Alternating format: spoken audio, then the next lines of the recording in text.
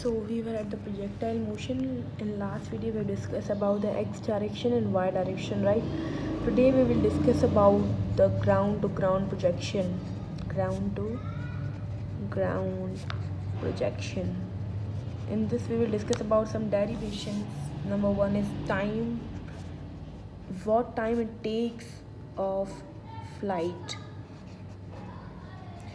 In which time what time it will take to get flight.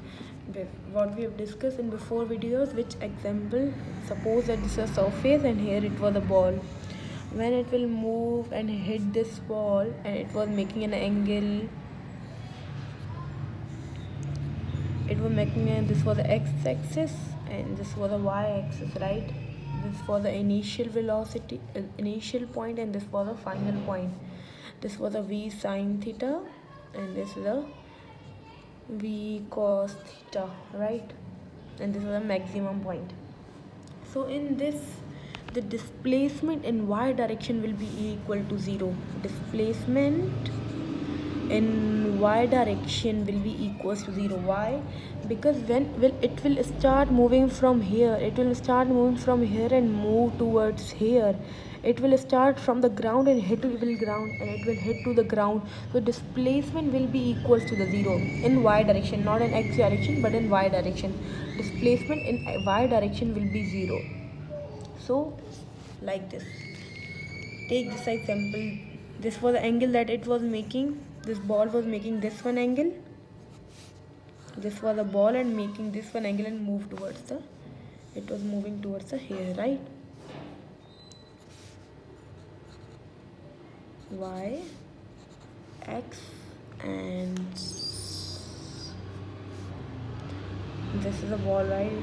Here the displacement y is equals to the zero this for the final point and this for the initial point. So displacement in y direction will be zero because it's moving from the ground and it is hitting towards the ground and hit towards here. So this will become as a displacement in y direction will be zero. So velocity responsible velocity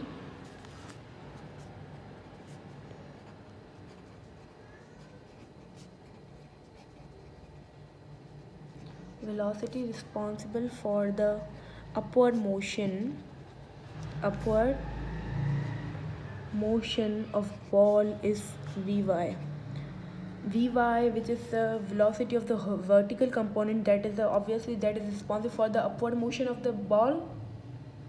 So here as I discussed the displacement in y direction this is a displacement in y direction will be equal to the zero. So that is equals to the zero in y direction. Now here we will calculate the time that for the flight time of the flight. For time we will use the equation using equation of motion right?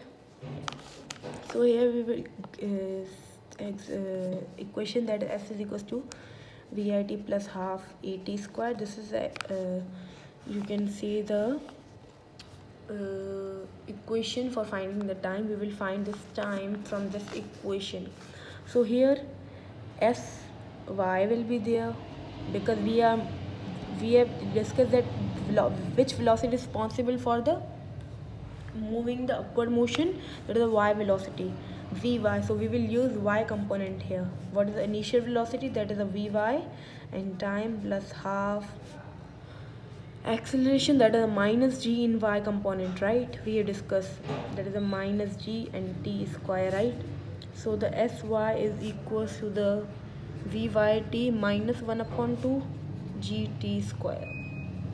Here we have discussed that the sy is equals to the 0 so here sy is equals to 0 and we can write vy as a v sine theta and here time minus 1 upon 2 gt square. When we will move this whole term towards that one side it will be the positive that will be the this one sine theta and time. This 1t will cancel with this 1t so it will be the 1 upon t. Gt is equals to the v sine theta right so we want to find this time so this g is multiplying it will divide there. So the v sine theta and g sorry it will divide g here g. And this is dividing and it will multiply here 2 sine theta upon g. That is equals to the time. So the time is equals to the 2v sine theta upon g. We can also write like time is equals to 2v sine theta we can write 2vy upon g.